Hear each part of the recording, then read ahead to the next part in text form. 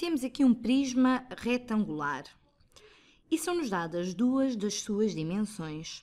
Sabemos que a largura é 2 e que a profundidade é 3. A altura vai ser representada por um H. O que vamos fazer neste vídeo é mostrar-vos como é que o volume deste prisma retangular muda ao mudarmos a altura. Vamos fazer uma pequena tabela aqui. Vamos fazer uma tabela. Então, aqui ficará a altura e aqui o volume.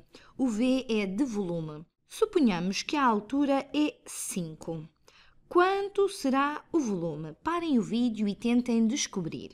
O volume será igual a largura vezes altura vezes profundidade.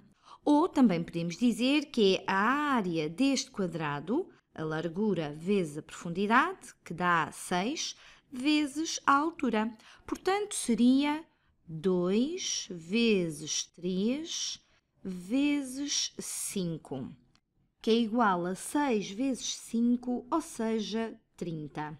30 unidades cúbicas. Assumimos que estas dimensões nos são dadas em alguma unidade, portanto, será unidades cúbicas.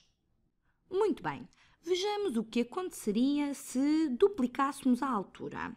O que é que acontecerá ao volume se duplicarmos a altura e passar a ser 10? Qual será o volume? Parem o vídeo e tentem descobrir. Nesta situação, continuamos a ter 2 vezes 3. 2 vezes 3. Vezes a nova altura, que agora é vezes 10. Agora ficamos com 6 vezes 10, que é igual a 60. Reparem que ao duplicarmos a altura, duplicamos também o volume. Se duplicarmos uma dimensão, duplicamos o volume. Vamos ver se é sempre assim. Vamos duplicar a altura mais uma vez. O que acontece se a altura for 20 unidades? Neste caso, o volume continua a ser 2 vezes 3 e agora vezes 20.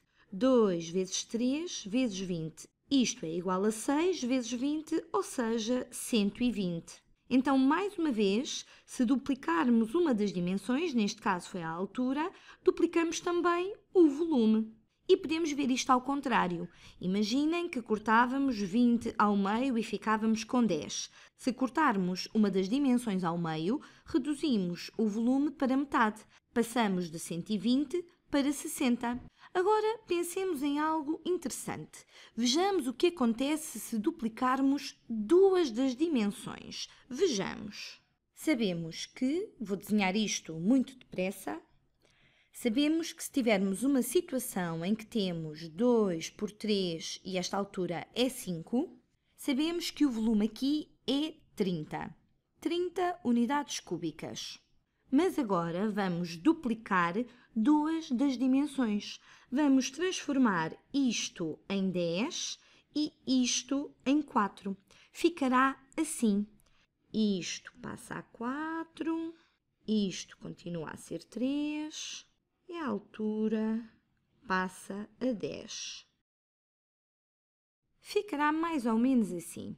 A altura passa a 10, não está desenhada a escala, mas espero que dê para perceber. Esta é a altura.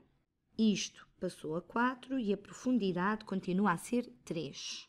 Qual será o volume agora? Parem o vídeo e vejam se conseguem descobrir. 4 vezes 3 é 12. 12 vezes 10 dá 120. Reparem, ao duplicarmos duas das dimensões, quadruplicamos quadruplicamos o volume total. Parem o vídeo e tentem perceber a causa disso. Se duplicarmos uma dimensão, duplicamos o volume, mas aqui duplicamos uma e depois outra. Portanto, multiplicamos duas vezes por 2. Agora pensem, o que aconteceria se duplicássemos todas as dimensões? Quanto é que isso aumentaria o volume? Parem o vídeo e tentem fazer isto sozinhos. Em geral, se duplicarmos todas as dimensões, o que é que acontece ao volume? Ou se reduzirmos para metade todas as dimensões, que efeito tem isso sobre o volume?